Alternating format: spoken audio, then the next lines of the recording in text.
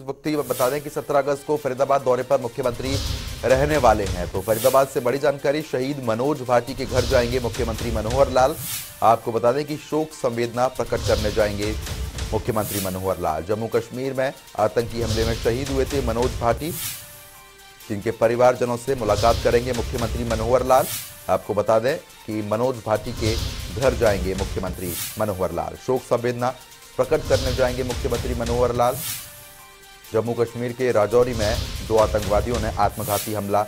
Army base camp में किया था, जिसमें लोहा लेते हुए चार जवान शहीद हुए थे, जिसमें से हरियाणा के भी दो जवान थे। तो आपको बता दें कि शहीद मनोज भाटी के घर शोक संवेदना प्रकट करने जाएँगे मुख्यमंत्री मनोहर लाल। तो इस वक्त की ये बड़ी जानकारी 17 अगस्त को फरीदाबाद के दौरे पर भी है मुख्यमंत्री।